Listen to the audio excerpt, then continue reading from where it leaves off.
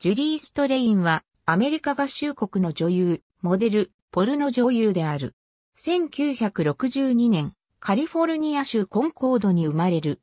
地元カリフォルニアの高校を卒業後、ディアブロバレー大学へ進学。後に、ラスベガスを経て、ロサンゼルスに渡り、女優、男性向け月間雑誌、ペントハウスのモデルとして活躍した。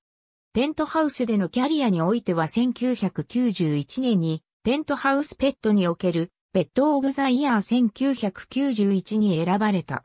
女優としては1990年にレスリー・ニールセンとリンダ・ブレアが共演したパロディ映画裸の十字架を持つ男エクソシスト・フォーエバーの配役で映画デビュー。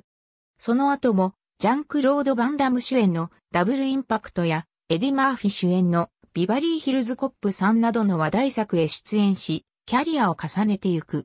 その後も現在に至るまで様々な低予算映画や B 級映画、ポルノ映画など幅広く出演し、カルトな人気を誇っている。